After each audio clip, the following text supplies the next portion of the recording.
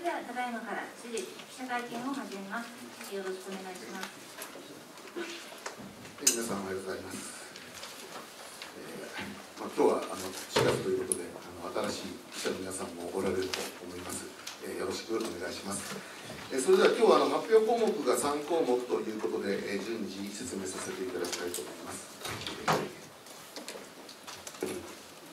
えーまずいよいよ5月13日に佐賀サンライズパークがグランドオープンいたします、はいえーこの新時代のエンタメアリーナサガアリーナなんですけれども、まあ、改めて、えー大きな特徴について説明させていただきたいと思います、えーまあ、最大勾配35度、まあ、特にあの4階部分を指しておりますけれども。ということで、えーすり鉢状の観客席ということで、まあ、中央があのある程度狭くしておりましてそこを大きく取り囲むような形が特徴ということで、えーどの観客席からも見やすい臨場感あふれる、えー施設としております。えーさらに中央と壁面とそしてこのリボンですねぐるぐる回る全てを一周する、えーこのリボンサイネージが標準装備されているのは全国唯一ということでありますし非常にあの音響そして照明というものがあまあ入るような形で、えーさらに演者も引き立てるように黒基調の会場ということで、えーぜひその光のイルミネーションですとか音響の素晴らしさを感じていただきたいと思っております。えそれからあの国内最多の豊富な席のバリエーションということでさまざまなところにあの末席があったりペアシートがあったり、えーそしてこの3階部分は全てプレミアムラウンジになっていたりということもさまざまなあの席に座ることによってさまざまな楽しみができることも大きな特徴となっております。えーそして、えー女性トイレはあこれ日本最大と思いますけれども164のトイレを用意させていただきましたあそして全ての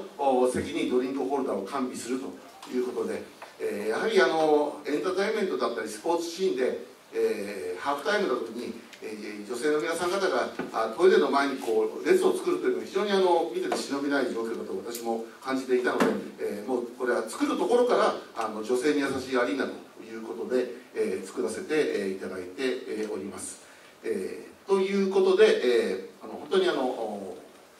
飲んでそして、えー食べる像もありますし、新しいアリーナだというふうに自負しているところであります。はい。えということで、まあ、かねてから私もあの知事になる前に JTB だったりラグビー組織委員会にいてあのいろんな施設を見てまいりましたけども、まあ、そもそも日本と世界のスポーツの在り方にギャップをずっと感じてまいりました。あやはり日本の場合はあ体育をする。そして試合に勝つ勝利至上主義というかあそっちの方にやはり重きを置いてきたところもあったのかなというふうに思いますけれども、え元来スポーツっていうのはするだけではなくて見たりえ支えたり育てたりいろんなあの多面的な人生を豊かにするものでございまして、えそういったところは非常にあの世界に比べてだいぶあの遅れてる感があるなと思っていました。あそれを実感したのがあ例えばあの試合前の会場っていうのはあそれぞれがあパーティーや商談だったり世間話したりいろんなことをしながら楽しんで、えーいよいよ試合というと5分前ぐらいになると、えー試合会場にあの飛び出していくわけですね、まあ、日本の場合はむしろ応援合戦をしたりして、まあ、試合そのものっていうところにあのあれが注目が集まってます。から、まあ、その辺の違いが大きくあります、えーまあ、さらに、えー何かこう、まあ、うち国スポがあるわけですけれども、えーそういう大会のためというよりはむしろその後の使い方を考えるということが大切だという話をこれあのいくつも聞いてまいりました、まあ、こういう気づきをこのサガーアリーナとして現在の形にしたというしたものでございます、はい。え例えばあ3月には私もあのスペイン視察さまざまさせていただきましたけれども、まあ、一つの目的があこのサンマメススタジアムというのは非常にあの大きなあ素晴らしいスタジアムだというのは聞いていたのでこれも見ていきたいなというふうに思っておりました。あビルバオっていうチームの本拠です。で、まあ、ビルバオはあのバスク地方で、えースペインリーグ一部から落ちたことがないのはあリアル・マドリードとおおバルセロナとビルバオだけだ誇りだって言ってました。日本でもおアントラーズとおエフ・マルニョスとサガントスの3つだけが落ちたことがないチームだってあの自慢しておきましたけれども、まあ、そうやってあのチームを誇りに思うっていう気持ちが非常に強くて、まあ、あのご案内通りですここについても同じようにこう試合前にもう試合があるかわからないようにこうやってみんながいろんな楽しみ方を、えしていますさまざまなあのワインを飲んだりとかあお菓子食べたりとかお寿司のコーナーは一瞬でもうなくなってましたけれども、まあ、そんなようなゾーンになっていまして、まあ、我々の想定するこのスポーツホスピタリティという考え方日本ではまだまだまだあそれがあ浸透していないというもののリーディングケースとしても佐賀アリーナを考えていきたいなとこの世界基準の楽しさを佐賀から始めたいと思っているわけでございます。はい。えー、改めてプレミアムフロアをご案内しますがこの3階ですね、えー、佐賀アリーナは1234と4階建てになってますけれども3階は全てが、え、プレミアムフロアになっています。でこれはあよくあのビップビップって言いますけれども佐賀アリーナに関して言えばあと特段そのなんかあの、えビップという名前というよりは普段県民の皆さん方でもちょっとこうあの親族で少しワンフロア一つ高いレベルで今回やっていきたいねなんていうところに使えるようなフロアなんです。ですのであのビップっていうかなんかこう、えー、偉い人だけが行くとかそういうことで勘違いされないように。あのみんなで使えることがあるフロアということで、えー、例えばこういうふうなプレミアムラウンジスイートラウンジだったりルームがあったりとかいうことで、まあ、こういうさまざまなあもちろんケータリングもできますしさまざまな楽しみ方ができるということでありますけれども、えー、最初説明したように、えー、日本ではあまだまだこのスポーツホスピタリティだったりこういう、え、いわゆるラウンジ的な活用っていうのがほとんどなされていないわけでありますから、まあ、非常にあの試金石になるのかなというふうに思います、えー、特にあのバスケットの B リーグはあこういうものを標準仕様にするようにっていうことで、えー、2026シーズンかなからっていう話になってますけれども、まあ、そういったところについてサガリーナは先取りをしながら試行錯誤をしていくということであります、まあ、いろいろこれからと思いますけれども、えー、皆さんと共に、えー、成熟したあ3階エリアプレミアムフロアを作っていきたいと考えております、はいえー、さらにプレミアムフロアの中にはこんなような部屋もあります、えー、いわゆるあの水田さんのさんの写真がいっぱいある部屋だったりえー、陶磁器照明作家の富松さんによる照明の部屋があったりとかあ江島しおりさんによるこう書の部屋があったりとかですね、えー、これはこの前あの台湾のタイガイアの、えー、社長さんすごい喜んでおりました。だから人によって反応するところが違うんだなと思いましたあの全日空のあの片野坂会長はここに完全にあの反応しておりましたけれどもあここは IT 企業の社長さんとかいいよねであの光君の言葉がいてありまして、えー、まさにイラストレーター光君のあの世界ということでさまざまなこういう、えー、趣向を凝らした部屋というものが楽しめるようになっているということも大きな特徴でありますので、えー、ぜひ楽しみにしていただきたいと思います。はい、ということで、えー、6月、えー、5月13日にオープニングをするわけですがあさまざまなまずはあの佐賀県のさまざまな文化芸術の息吹をこのアリーナに吹き込みたいということで、えー、県内のさまざまな団体キッズミュージカルだとかあの、えー、オーケストラとかあ多くの皆さん方であの唐津くんちも出ますしということでありますしあとはアイススケート場にもなりますのでプリンスアイスワールドですとかディズニーオンアイス、えー、こういう氷を張ったあイベントさらに B'z の全国ツアーの14都市の初回が佐賀ということでありまして、えー、非常に注目を集めています。そその他学会ですね、えー、医学系の学会ここに2つ並んでますけどもこういうさまざまなあ学会も 5G が張り巡らされたあの佐賀アリーナでありますので、えー、非常にあの、えー素晴らしい学術会議ができるんじゃないかと思いますし、まあ、商談会ですねそれからあのユーミンのコンサートの佐賀公演があったり、まあ、久光のフェスということ、まあ、このほかこのこの途中にもまだまだ発表してないものがありますので近々発表になるものもあります。で、えー、とりあえずこのこういうことをやっていくわけですけれども今度のゴールデンウィークでトライアルフェスというものを開催して一応全ての機能がちゃんとあの大丈夫かどうかのチェックを県民の皆さんと共にやらせていただこうということで、えご協力もいただいて、えー、試しに一回動かしてみようというフェスを、えゴールデンウィークにやらせていただくということであります。えーまあ、そこからあの問題が出て修正できるところには限りがありますけれども、まあ、それでもですね、えーまず一番最初はあ県民の皆さん方といろんなあのトライアルをしてみたいというイベントでございます。はいえーさらにここはあの私がずっと思っていたのはあその催しのものがある時だけではなくて普段使いしてもらうっていう県民の皆さん方に普段なんとなく遊びに来てもらうっていうことができないかなということも想定して作ったということでありましてこの文化会館との間に栄光橋を作って、えーということ。さらにここにはランニングコースを3コース作っております、え二重丸コース、いちごさんコース、サランスギコースと。いうことでありまして、普段皆さん方がこう周遊して散歩したりジョギングしたりしていただくというエリアにもしていきたいと思っております。はいえーさらにこれは5月1日になりますといよいよ何て言うんでしょうかあの1階部分っていうかあの、えーにパークテラスというものがオープンします、えーアリーナショップということでさまざまなサガアリーナにまつわる、ショップだったりとかあ、えー食事お酒を楽しめるエリアやカフェだったり、えーさらにショップこのスコールさんっていうのはあのタクの笹川さんがやってるところですけど、まあ、そういうものだったり、えーダンススタジオを設けたりということでさまざまなあ普段使いができるようなあショップもオープンするということになります。はいさらにいサガバルーナーズについて申し上げると今あ60試合のおレギュラーシーズンやってますけどいよいよ今度のお土日で、えー、サガプラザで最終戦ということになります。あと2試合ですね。であと2試合でどっちか勝つかあ長崎さんがどっちか負けるといわゆるマジック1なんでうち。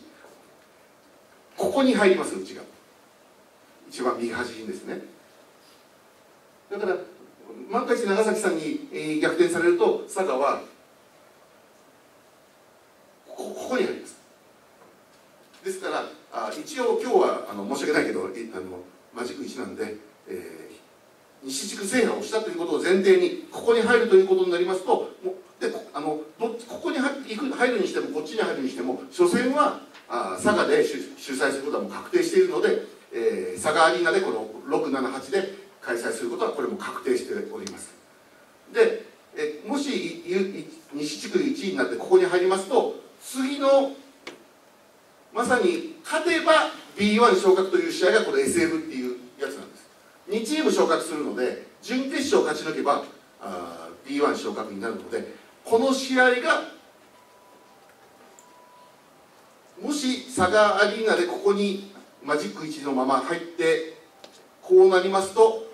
1回勝ちますと5月13というまさに佐賀アリーナの開幕の時に B1 の昇格シリーズが始まるという、まあ、これは考えてもなかったあ、まあ、出来すぎのパターンになるわけですけれどもそこで、えーぜひ佐賀で開催となりましたら、まあ、佐賀アリーナで、えーやりたいということでありまして、えーであるならばあこの1週間前の初戦も佐賀アリーナで開催して盛り上げていくということとおバルナズの皆さんにもやっぱ慣れ親しんでいただくとホームなのにアウェーじゃ困るのでということも考えて今回急遽こういう形にして5月6日からアリーナを開催の前に使わせていただくということに相なったわけでございます。みんなで盛り上げて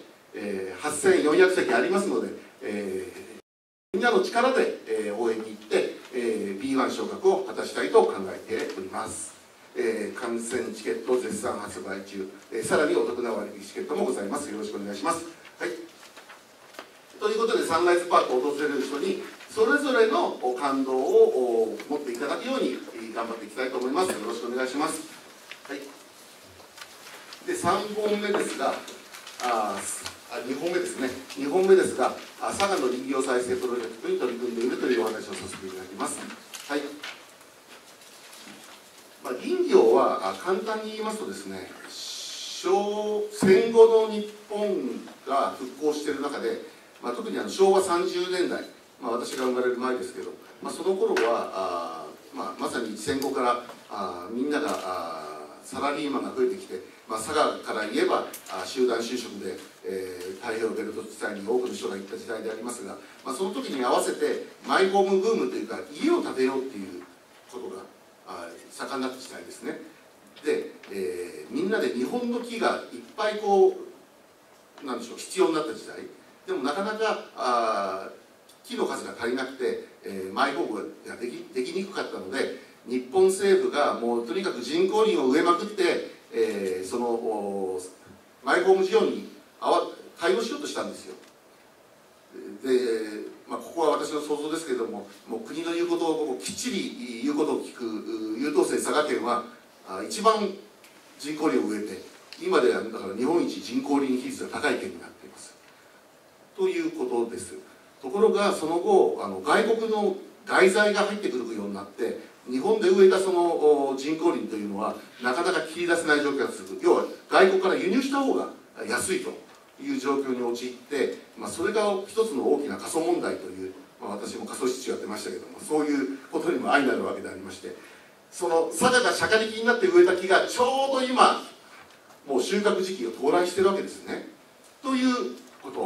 えー、なのに、まあ、これまでなんでなかなか切り出せなかったかというと木材価格が低迷したり伐採意欲が減退したり担い手が減少したりということでなかなかですね価値を生まなかった山がですという前提がございます、はい、でじゃあ最近ウッドショックということで世界的に木材価格が高騰し直すになってきたんです。これはまあコロナもあって、えー、都市に住むんではなくて、えー、どちらかというとこうあの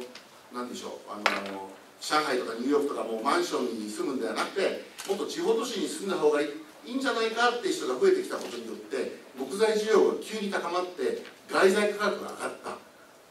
だからなかなか日本に外材が入られなくなった。それをウッドショックと言いますが佐賀県は考えました。いやそれはチャンスじゃないか単なるピンチなんだろうか。逆に言えば国産材を市場に出せるチャンスではないか。ピンチはチャンスではないかと考えたのが佐賀県でした。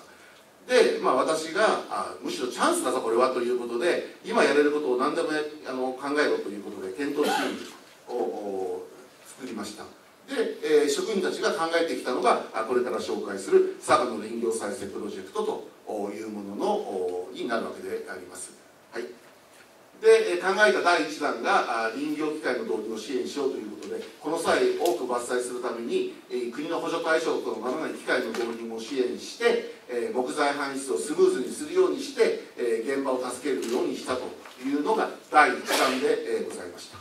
はい、で第2弾とすると、まあ、これが結構大きな問題でえ今山の所有者っていうのはもう結構こう飛び地になってバラバラなんですね。それがさらに相続によっても何のこっちゃよく分からないような状況になっていて、えー、これをあの作業道を作ったりとかあ全体として管理する時にこう関係する人が多すぎて大変だったんです。ですのでもうこの際だからあちゃんと森林組合にそれぞれがあの経営をお任せすることによって一括して森林組合があ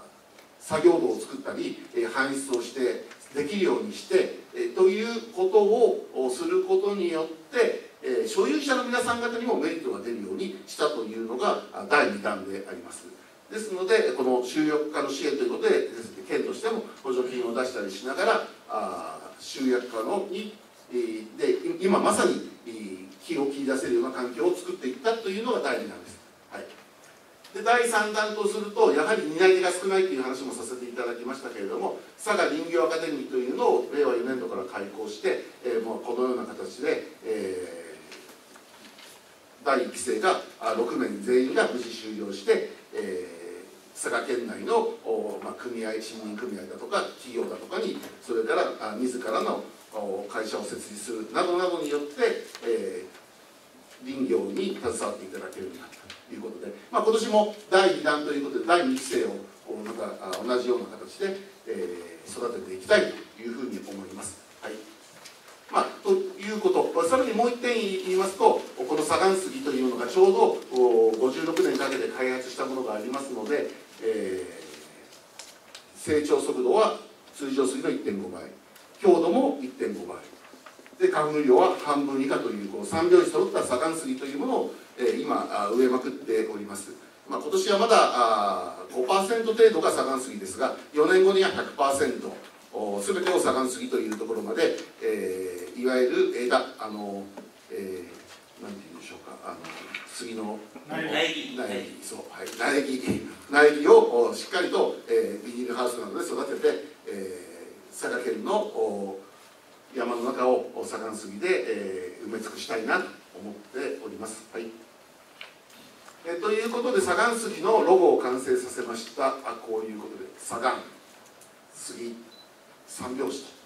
ということで、えーあります、まあ、こういったことで、えー5月1日にはあパークテラスに左官杉使って使ってるのかな？はい、使っておりますので、まあ、この焼きロゴの焼き入れを行ったりとかしますし今あの北山のキャンプ場というものを、えーやってますけれどもここにあのレイクサイド北山にあのスライダーを今設置してるんですがその近くに左官杉フィールドというものを今設けています、まあ、こういったことで県民の皆さん方にいい左官杉というものを親しんでもらおうと思っています。これは今年の夏に完成です、はい。えということで山を大切に左官杉も最大限活用しながら佐賀の林業再生を進めていきたいと考えています。これが2点目になります、はい、で最後ですが佐賀ウクライナひまわりプロジェクトについて、えー説明したいと思います、え1年があ経ちました。はい。これまでに16組38名の方が佐賀に避難されました。もう1組目来たのがもう遠い昔ですけどもずっとこういろんな皆さん方がそれぞれ佐賀の方に来ていただいたわけでありますやはりあの評判が評判を呼んで非常に多くの皆さん方が佐賀に駆けつけていただいた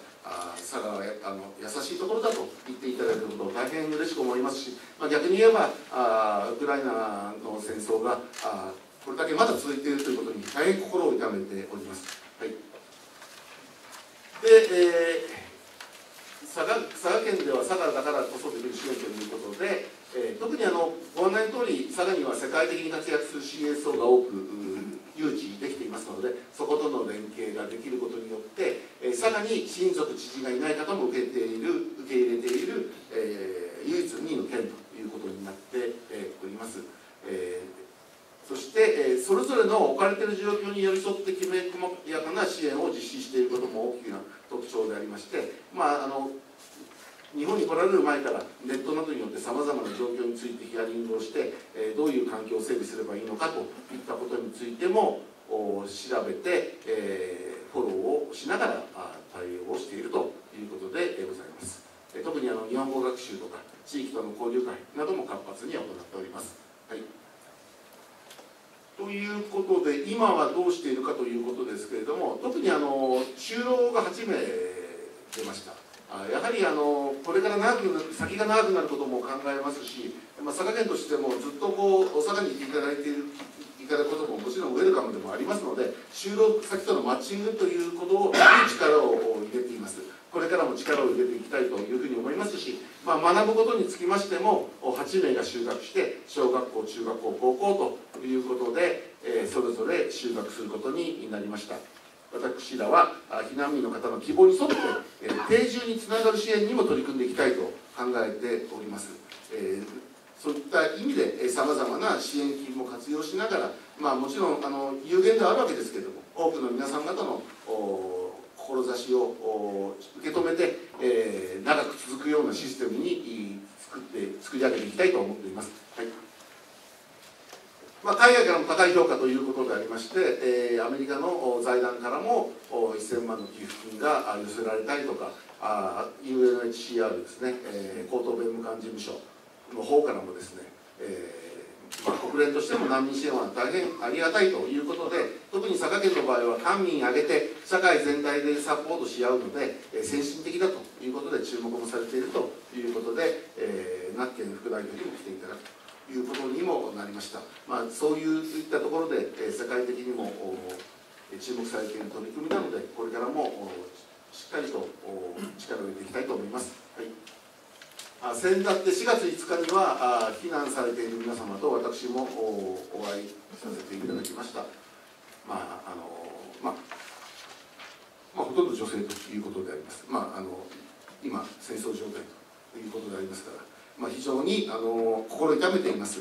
その心を痛めている中でもあの佐賀での生活というものはあ本当にあの落ち着いてできると。安全に安心してできることが幸せとか言われるともう本当にあのこちらの方もいたたまれなくなるわけですけれどもあの子供が安全に暮らせているとか、まあ、そういったことでありますので、えー皆さんあの他の親族も早く、えー、特に夫にも帰ってきてほしいとかいう声もありましたけれども、まあ、できる限り皆さん方の意に沿うたあ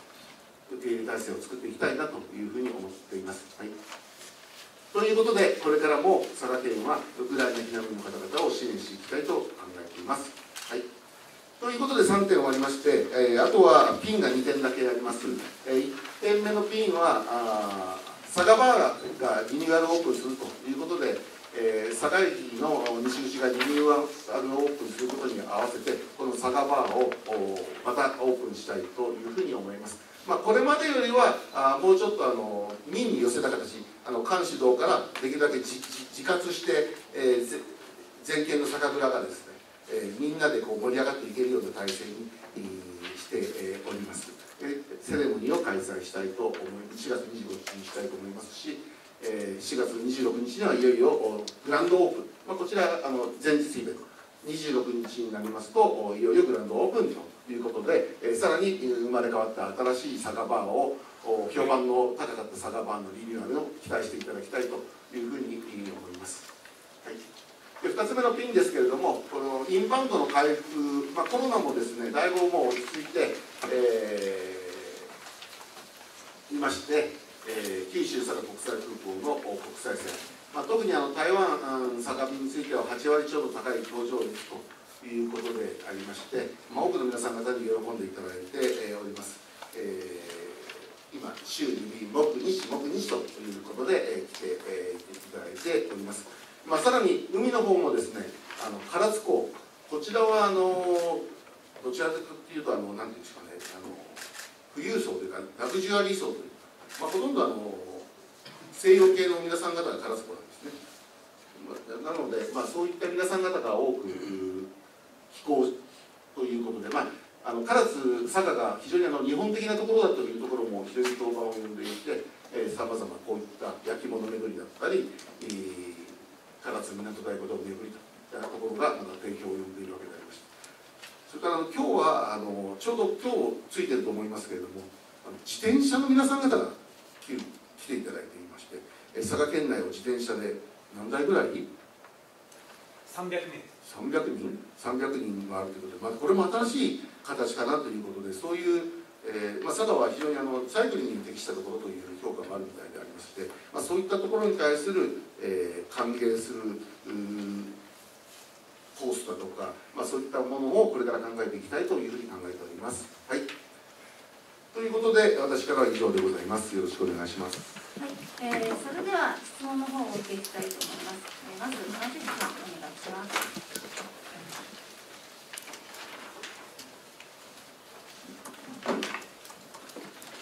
テレビです。お願いします。まずオスプレイについて伺います。地権者側が来月1日の総会で土地の売却について判断する見通しとなっています。計画の節目が近づいていますが知事の所感をお願いします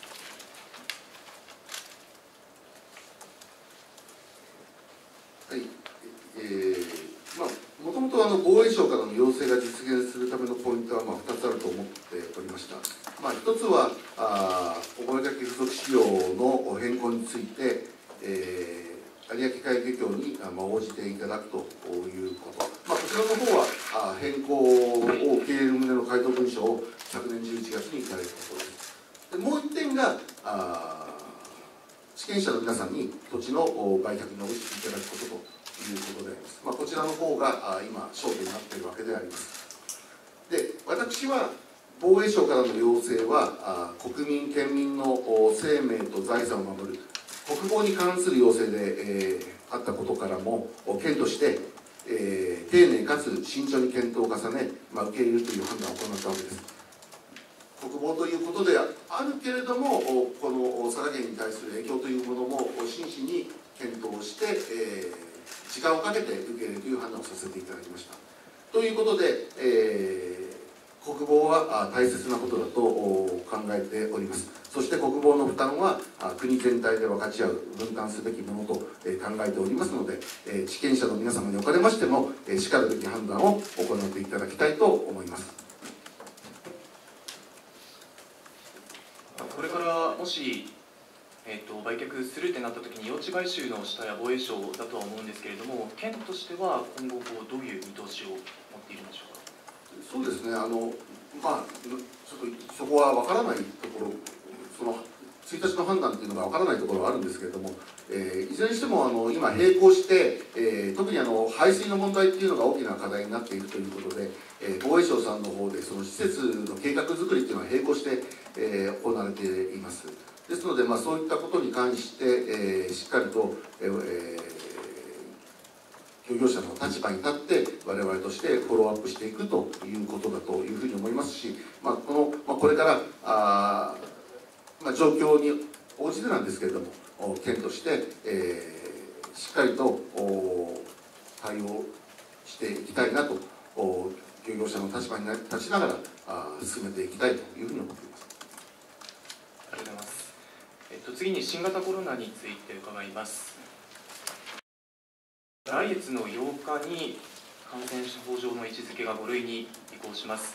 えっと、5類に変わることに伴う県の対応についてどう考えているのかお願いします。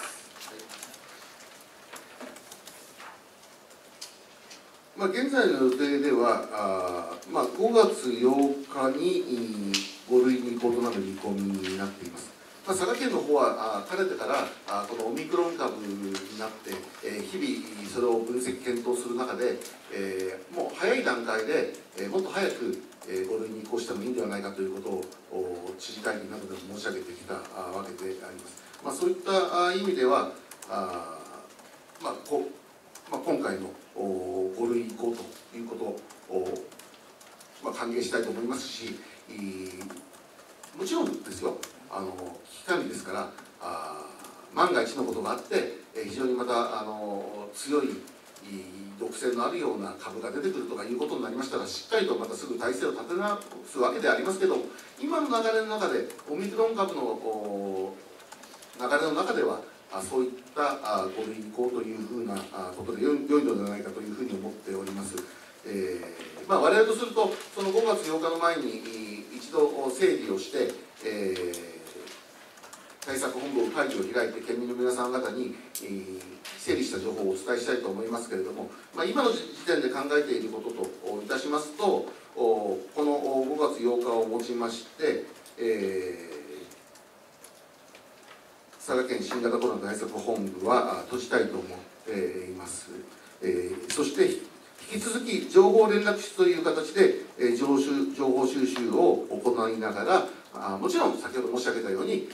状況が急変した場合には直ちに必要な体制を構築していくというふうにしたいと思います。そしてプロジェクト M についてもこれまで医療機関と連携しながら非常に大きな成果を上げてまいりました。まあ、そのせいもあって非常にあの集中した民間同士の連携もできてまいりましたので、このプロジェクト M についても5月7日をと持って閉じさせていただくということにして、えー民間同士の医療機関同士の連携というところにえー基本的には委ねたいと思います。えーまあ、もちろんこちらの方もですね、えー状況が変わればあすぐに元の状況に戻れるということですがやはりあの危機管理というのはメリハリなので、えーいざという時には強い体制で対応ができるっていう体制を維持するためにもここ強弱をしっかりつけて、えー一旦そこは緩めるという判断をおさらげはさせていただきたいというふうに思っております。あの発熱外来に関してはこれまでよりもこう幅広い医療機関であの診療することになると思うんですなると思うんですけどその発熱外来を行う医療機関を増やすみたいな考えがあるんでしょうか？そうですね。あの徐々にその一般対策に移行していくということ、まあ、最終的には来年の4月になろうかと思いますけれども。それに向けて、えー徐々にその発熱外来からあ一般的に診療が受けられるような体制になるように医師会等々も話し合いながら体制を取っていきたいと考えています。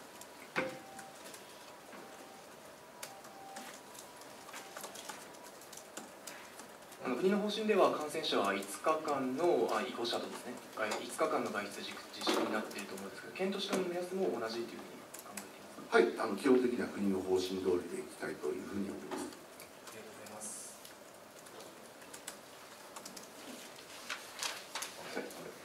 えーと共同通信です。えっ、と、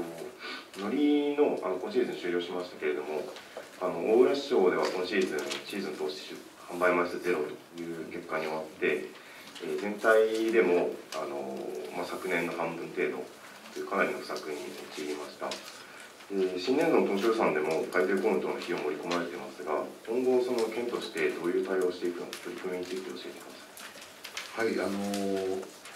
まあ、ここ数年、西南部地区はですね、非常にあの厳しい赤潮による移動地被害が激しい状況が続いていたんですけれども、まあ、今期は県全域に被害が拡大したと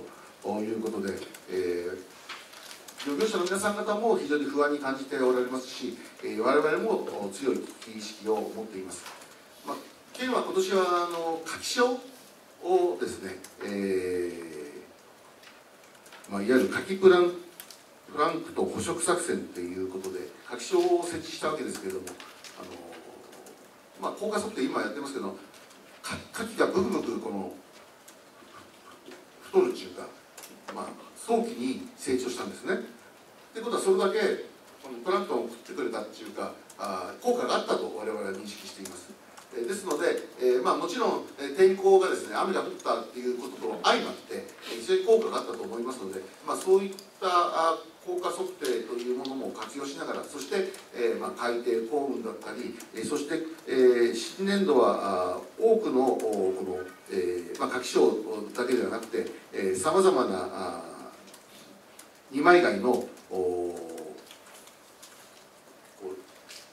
設置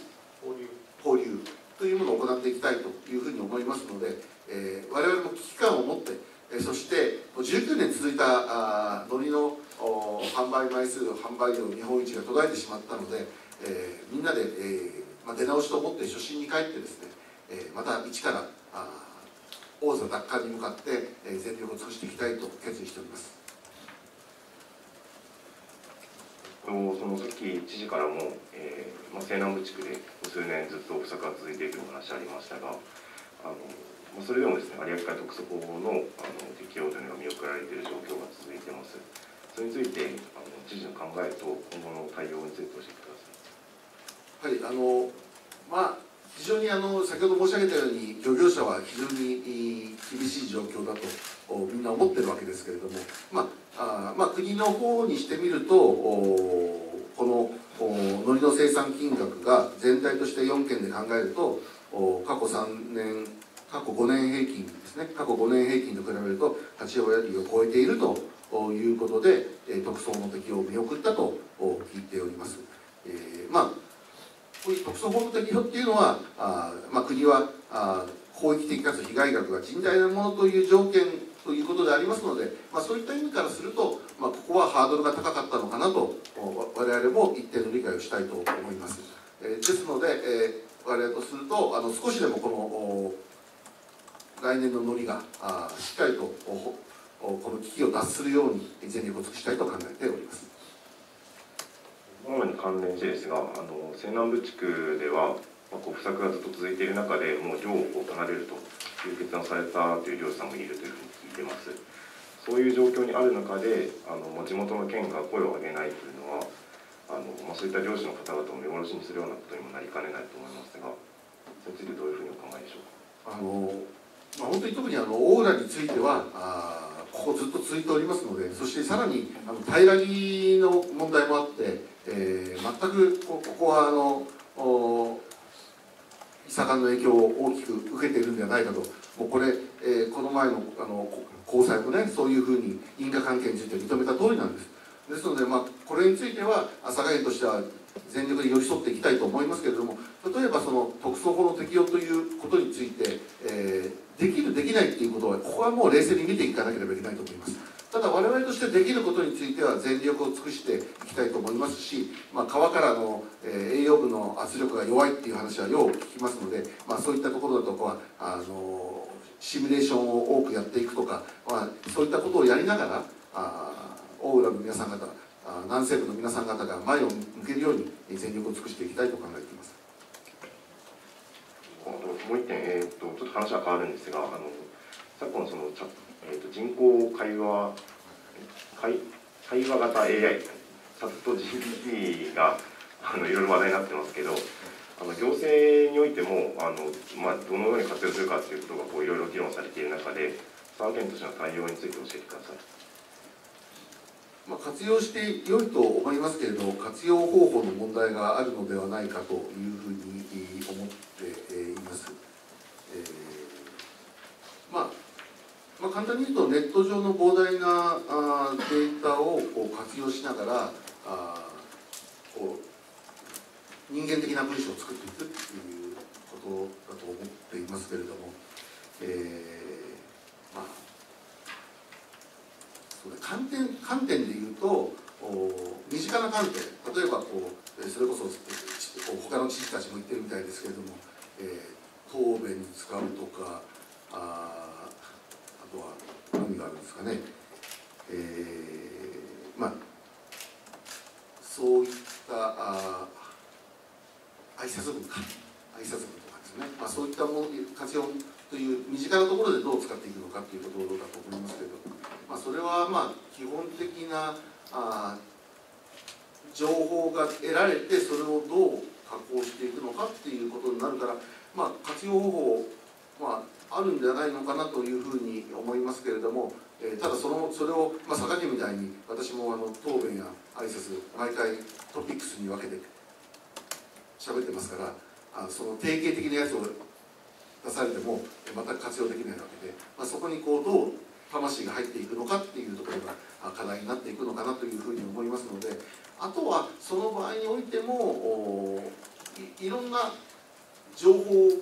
を秘匿性のある情報をどうしてもこう入れてしまう可能性があるわけですよね。あの質問の中で佐賀県はこんなことでこんなことでっていう中に特定情報があったりとかしてそれがこう漏洩されるリスクもあるしそれこそ誹謗中傷みたいな情報をこう打ち込んでいくとそれがどんどんどんどんこう拡散されて、えー、というリスクもあると思います、まあ、そういったこともよく踏まえながらあ運用方法というものを作っていくっていうことが大事だと思うんですね。でもう一点はこれあのその身近なことばっかりではなくて、えー、国家的な危機管理っていう観点からすればあテロだとか犯罪に活用されるリスクがあるわけでまあ、そういったところをどのように国家的な問題として取り組むのかっていうことを考えていかないと、えー、この SNS とかネットの問題っていうのは身近なところにありますけれども実は国家的に大きな問題をはらんでいるので、まあ、そういった問題をいかに整理するのかっていうこの大きなことについてもぜひあの知事同士で議論をして、え、この活用法を考えていくっていうことも大事だろうと思います。まあ、まとめて言うならばあネット構築をしながらこのチャットを GPT を活用するかどうかのルール作りはまさに人がやらなければいけないのでその人の部分がどうこの運用にコミットできるのかっていうところにかかっているのかなというふうに思いますので、まあ、佐賀県もそういったことをしっかり意識しながらあ活用法を考えていきたいと思います。ありがとうございます。えー、質問のある方、挙手お願いいたします。はい、十柳さんお願いします。あえーと、私もじゃないです、いくつかあるんですけども、まず一つあの、新幹線問題ですね、えーと、斉藤国交大臣が、えーと、先日の、えーと、書き込みかな、報道への対応の中で、えーとえー、先般からお話が出ているような形で、国交省全体で、えーと、この西九州ルートの先の部分ですね、あり方について、えー、国交省全体で考えていくということで、えー、じゃあどういうふうにするかというのを鉄道局の方で検討しているという話をされました。で、えーと、この点なんですけども、あの従前の考え方でいうと、じゃあ、じゃあといって佐賀県がその温度を取ったり議論をリードしたりするような立場でないっていうお考えっていうのは分かるんですけれども、とその国交省全体で、えーと、佐賀県と国交省以外の部分、えーと、知事もおっしゃってますけれども、例えば、筑後地域だとか、えー、熊本だとかというふうなところで視野が広がっていったときに、議論のあり方としてですね、佐賀県とそういうその国交省だけの今の枠組みの中で話せる話なのかなっていう気もしていて、知事としてはそのどういう形でじゃあその九州全体の話をしていこうという時にどういう形での議論のかっていうのがあの望ましいとお考えかっていうのをお聞かせください。はい、えーとお今斉藤大臣の会見あのこ交渉全体で取り組むって話ですよね。これはおそらくですね昨年の8月に私が森山委員長と面談させていただいた時にですねもしフル規格ということで議論するんであれば九州全体の空港とか港湾とかインフラ全体で、えー議論をすべきでそういう大きな観点からあ考えるべきだと思うということで、えーそこは一致したと私は思っています。森山委員長からもあそういう大きな観点は大事だよねっていうお話もいただいたのででそれを受けて、えー斉藤大臣が言ったとお話になったということだと思いますのでであればですね、えーそういう、まあ、これまで、えー国交省鉄道局はあまあある部分同じ主張をずっと繰り返してほとんどこの柔軟性がない議論だったと私は思っています、まあ、そういった意味で、えー幅広い議論さまざまなその九州全体おっしゃったように筑後県域も含めて、えー議論ができるようなあ環境になってくればいいなと期待しています。ただいずれにしてもあの佐賀県から打開するという立場ではないというのはもうこれはずっと申し上げている通りで、えー今の、えー佐賀駅を含めたあ在来線の環境というのは悪くないと我々は認識しています、まあ、そこを打開するようなあ話が出てくるとしたならばあそういったことについても議論することについては我々はやぶさかではないと考えているわけであります。あくまでもそこのところというのは国交省さんがどう進めていくかの話であってその先ほど私が質問したように例えばその筑後船小屋ルートを接続するルートだと福岡も当然絡んできますしもう少しこう参加者プレイヤーを増やした形での議論の場っていうのは今後必要になってくるかどうかっていうところはどうでしょう？そうですね、まあ、それにしても、まあ、あの大きな方向性というところについては、ある程度整理した方がいいのかなとは思います。まあ、これあの随時、まあ、森山委員長とは、まあ、かなりよる実行でありますので、まあ、そういったところという大きな方向性というものについては、まあ、ある程度整理された方があもし進むにしてもあのいあの行ってこいがなくなっていいのではないかとは思っています。あとその、えっと、発表項目に絡みますけれども、えっと、佐賀アリーナ中心として今後の佐賀の将来像ということなんですが、えっと、まずあの、えっと、佐賀市の方でですね、あのこれ佐賀市の工事でしたけれども、文化会館の西側広場の工事が、えっと、業者さんが降りることによって工期がずれたということがありました。で、これは佐賀市の工事ではありますけれども、佐賀アリーナもちょっと、傍から見るとですね、周辺整備の部分でなかなかあもうそろそろできるのにどうなってるのかなっていうような感じがかなりしていて気をもんでる部分もあるんですけども県の方としてはその県管理の工事については特にトラブルなく円滑に進んでいるという認識かそれとも少し若干あの遅れも出てるけどもそこはなんとかあの、えーやりたいというような考え方どういう状況でしょうか？はい、あのあもちろん予断を持って語れないところはありますけれども、現時点ではあの順調に推移していると思います。まあ、もちろんあの基礎工事のところですね、あの外交あたりはですね、まあ、かなかあの時間かかってるなと思うんだけども、あ順調らしいです。あのやはり時間がかかるものだということなので、えーまあ、ぜひあの安全第一で、えー工事を観光させてほしいなと思いますし、まあ、ぜひあの佐賀市の方もですね、えーまあ、今回あの屋根がなかなかつかないということらしいですけども、まあ、そういったところについても、まあ、できるだけ、えー今後移動なきように、そして、県民の皆さん方が楽しみにしておられますので、えーそういう環境を、えー整えていきたいと思っております。あのえっと、ランニングループできましたけれども、えっと、実際ぐるっと回ってみたんですけどもあの実際利用された方っ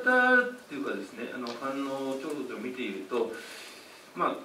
木が周りにちょっと少ないというかないというか身を隠す場所もないのでカンカン照りの中で暑くても寒くても走ることになるよねっていうことを言っておられてで確かにその大阪サンライズパークのところを見てみるとですねあのまあこれ佐賀市内中心部もほぼほぼそうだと私は思ってるんですけども意外と木が少ない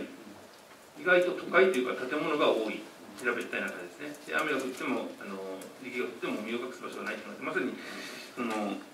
ランニングループのところについてもそうなんですけどもも、この辺っていうのは将来的に少しずつまた木を増やして、えあの敷地内で木を増やすとか考えあるんですか？そうですね。あのやはりこの木木をどうするのかというのは大事な問題であるわけでありまして、まあ、適切な場所にあのそれにふさわしい木を植林して育てていくというのが大事だというふうに思います。まあ、ランニングループに関して言うと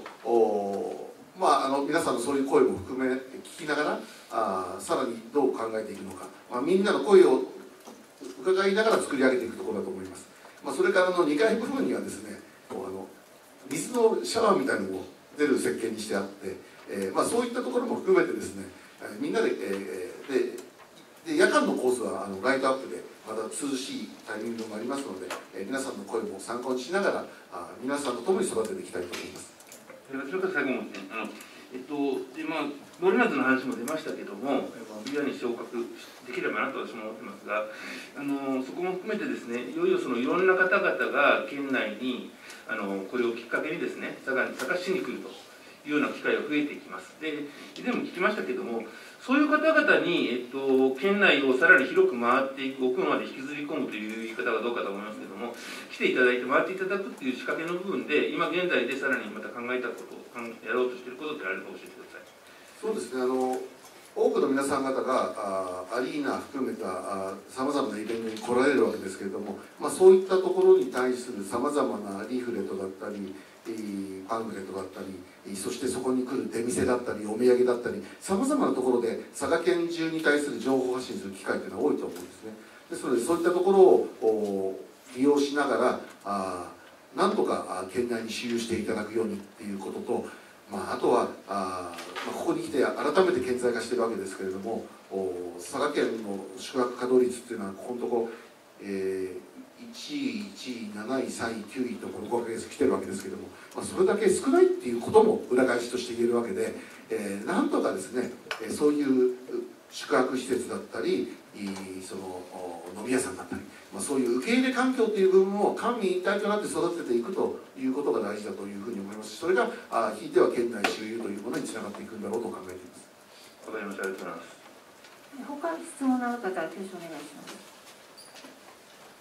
あ、野口さん。佐賀新聞の山口です。県議会議員選挙が終わりまして、その無投票当選や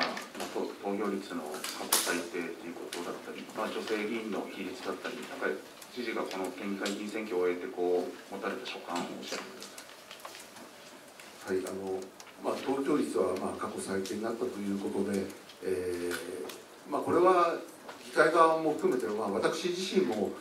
県民の皆さん方に政治参加していただくように、え政治に関心を持っていただくように、え佐賀県が行っていることに、着目していただけるようにという努力を続けていきたいなというふうに思います。まあ、ちょっと前まではですね、え知事選と県議選が統一されていたので、えーまあ、ある部分投票率もその面で高かった面もあると思います、まあ、これはでも致し方ないのであの逆にこの2段階ロケットになっているので、えーこのシーズンになりますと県政に関する関心が高まるような、まあ、そういう方法を考えていきたいと思います、まあ、それからあのもう一つあの無投票が多かったっていうのは、まあ、これ、えー残念なことかなというふうに思います。まああ一般的に考えて今回佐賀市選挙区ですとか唐津市選挙区はあ非常にあの関心を呼んで、えー多くの皆さん方があ県政というものを意識されたと思うんですね、まあ、ですので、えーまあ、一般論的に言うとこう大選挙区の方があそういう議論が高まりやすいのかなという所感を持ったところです、まあ、もう一点はあまあ、一般的にはもう女性議員の数今回3人ということですけれどもお今の佐賀県全体のおお長官した時にやはりあの女性議員があ多く手を挙げて、えーただくということも大きな課題だろうと認識しました。えーそしたら続けて山下さん。西日本新聞の山下です。とあのアリーナのことでえー伺います。えーまあいよいよオープンが近づいたということで、まああのまあ県内はもちろんですけど、まあこれからやっぱ県外の人にもこう認知度が高まっていく認知されていくというまあぶ認識であの前提で伺うんですけど、改めて九州、福岡、まあえーまあ、マリンメッセなり、まあ、いくつかあの、まあ、いわゆる前施設みたいなのあると思うんですが、その中で、まあえー佐賀に来てもらうという差別化のところでいうと、あのこの、えーアリーナの、えー特徴っていうのは、まあ、強みというのを改めてお願います。はい、あのまあ、それこそあのマリンメッセとは全く違ううあのなんていうんでしょうか。エンターテインメントに大きく注力したアリーナだと思うんですね。で、えーやはりあのやっぱ佐賀はあ非常に今あいろいろチケットも販売してますけれども非常にあの福岡のお客さんが多いです。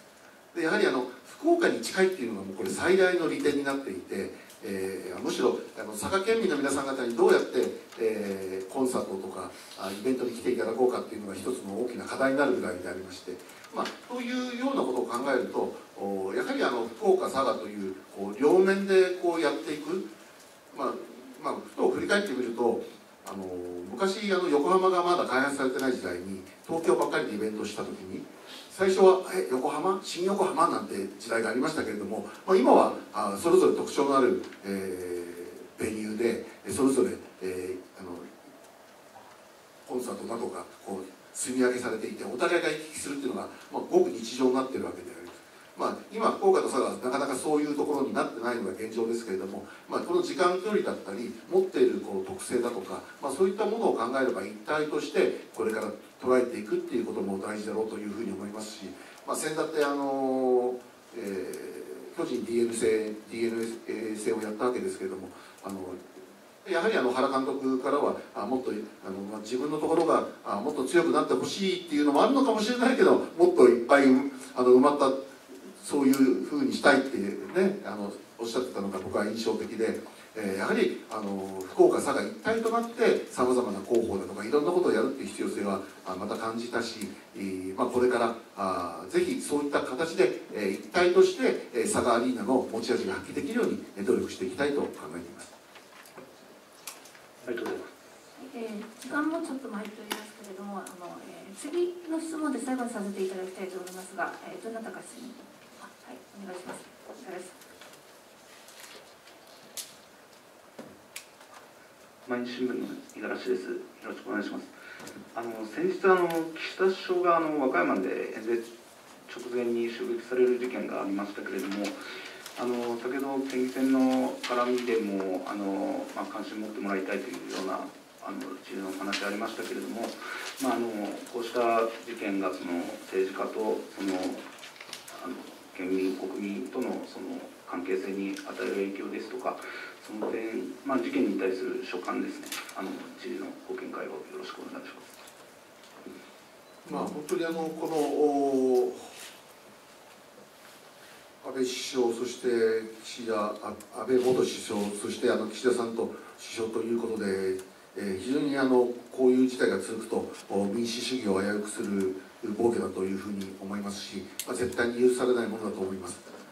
で私はまあ最近その先ほどの SNS の話じゃないですけれどもやはり